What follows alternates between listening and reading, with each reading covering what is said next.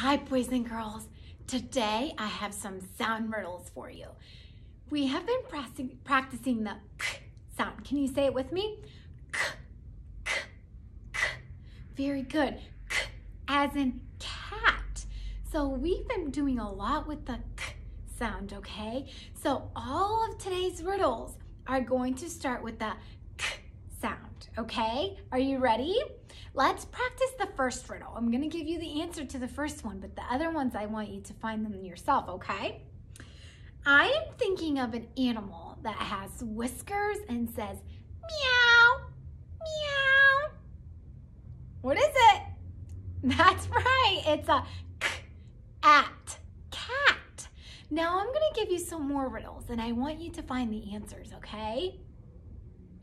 I'm thinking of something that is used to lock and unlock doors.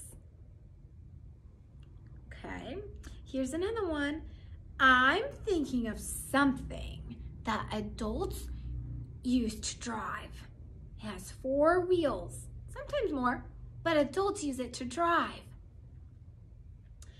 I'm thinking of something that we wear over our shirts when it's cold outside. I'm thinking of an animal that gives us milk and says moo. What is it? I'm thinking of an orange vegetable that rabbits like to eat.